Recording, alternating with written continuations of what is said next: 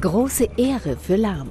Der Weltmeister soll offenbar Ehrenspielführer der deutschen Fußballnationalmannschaft werden. Das berichtet die Sportbild. Damit würde der 30-Jährige in einer Reihe mit Uwe Seeler, Fritz Walter, Lothar Matthäus und Franz Beckenbauer stehen.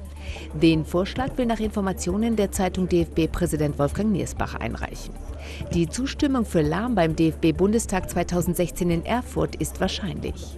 Lahm hatte nach 113 Länderspielen und dem Gewinn des WM-Titels im Juli seinen Rücktritt aus der DFB-Elf erklärt.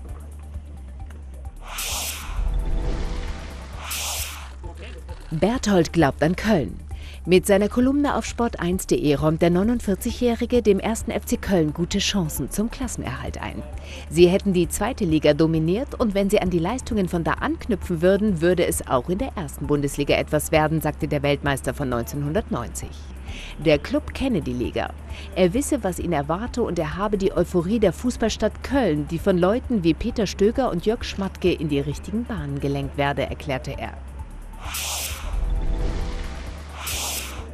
Thiago kündigt Comeback an. Der Mittelfeldspieler des ersten FC Bayern steht womöglich früher auf dem Platz als gedacht. Er wolle in vier bis fünf Wochen wieder spielen, sagte der Spanier am Dienstag. Der 23-Jährige hatte sein Debüt nach seinem Innenbandriss im Knie wegen falscher Behandlung in seinem Heimatland verschieben müssen.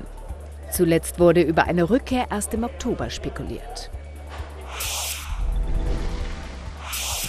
Müller verzichtete auf viel Geld. Bayerns Offensivspieler hätte bei einem Wechsel vom Rekordmeister deutlich mehr Geld verdienen können. Das sei ihm bewusst gewesen, erklärte der Weltmeister. Die Summen, die da von ausländischen Clubs im Raum gestanden hätten, wären schon astronomisch gewesen, erklärte der 24-Jährige. Ein Wechsel sei aber nie wirklich ein Thema gewesen. Müller hatte vor der WM seinen Vertrag an der ISA bis 2019 verlängert. Bayer verrät Augsburgs Erfolgsgeheimnis. Für den 30-Jährigen ist die gute Stimmung und der Teamgeist der Mannschaft das Erfolgsrezept des Vereins. Seit dem Aufstieg in die Bundesliga hätte es hier nur gute Stimmung gegeben. Ruhe von oben und eine mannschaftliche Geschlossenheit.